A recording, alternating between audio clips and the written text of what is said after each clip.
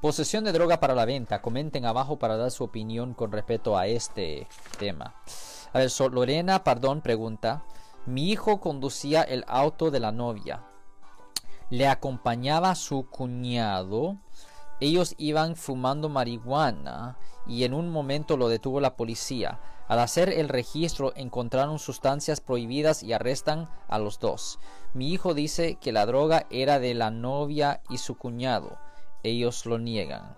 Ok, so la cosa es esto. Recuerden que el cargo no es de ser dueño de la droga, es de ser estar en posesión de la droga. Es una diferencia.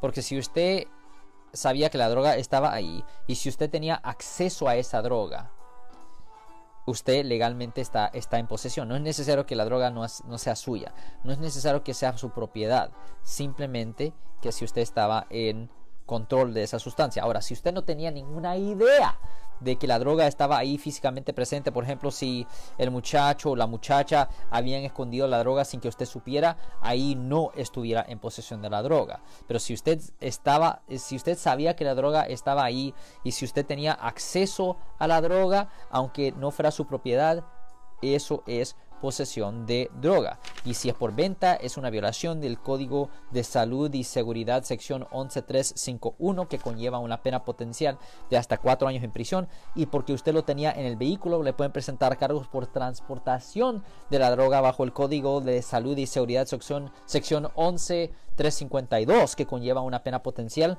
de hasta cinco años en la prisión estatal. So, esto es una cosa muy seria. Se tiene que establecer en efecto si el muchacho tenía acceso a la droga, si él sabía que estaba ahí. Eso hace la gran diferencia. Pero ser dueño es irrelevante. De cualquier forma. Si quisieran aprender más sobre los casos penales aquí en el área de la Bahía, suscríbanse a este canal de YouTube, Abogado Criminalista Área de la Bahía. Recuerden que la suscripción a este canal es gratis y nos pueden hacer preguntas en la sección del comentario del video abajo.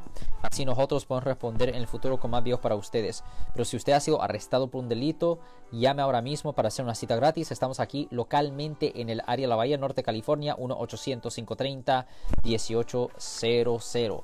Nos vemos pronto. Si les gustó este video, suscríbanse a este canal, aprieten el botón para suscribirse y si quieren notificación de otros videos en el futuro, toquen la campana para obtener notificaciones.